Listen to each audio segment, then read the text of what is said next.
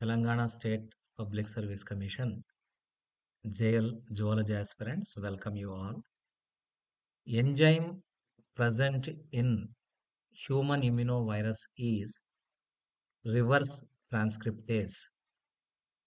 A or T stands for antiretroviral therapy.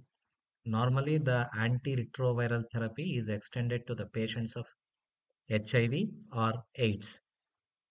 Retrovirus is the virus that contains RNA as genetic material.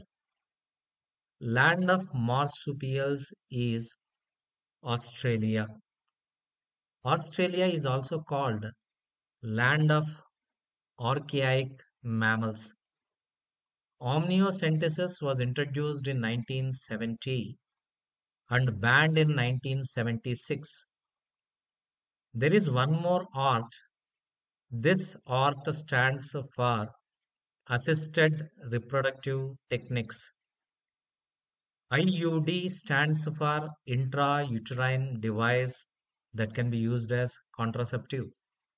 MTP stands for medical termination of pregnancy.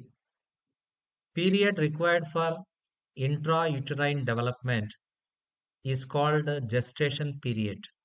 Intrauterine development is nothing but the period that is required for a baby to develop inside the uterus. And this is called gestation period also. Longest gestation period is exhibited by elephant. Shortest gestation period is exhibited by opossum. Changes in the sperm before fertilization is called capacitation.